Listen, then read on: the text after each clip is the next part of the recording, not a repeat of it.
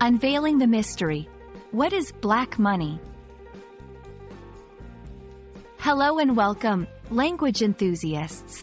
Today, we're diving into a fascinating and often misunderstood phrase in the English language, black money.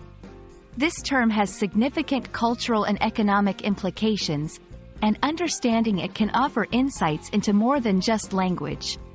So, let's unravel the mystery together.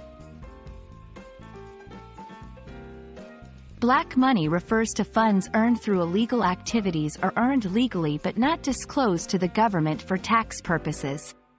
It's important to note that this term is not about the physical color of the money but rather its legality and transparency. Black money is often hidden from government authorities to avoid taxation and legal consequences.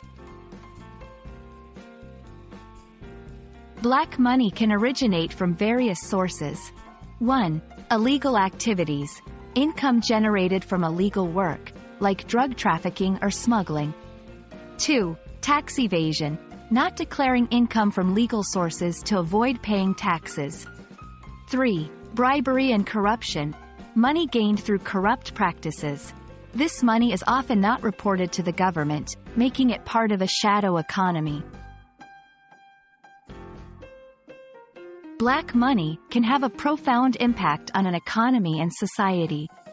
It leads to loss of revenue for governments, inequality as it often benefits the wealthy, economic instability, unrecorded economic activities can lead to inaccuracies in economic planning and analysis. The concept of black money exists globally, but its implications and how it's viewed can vary.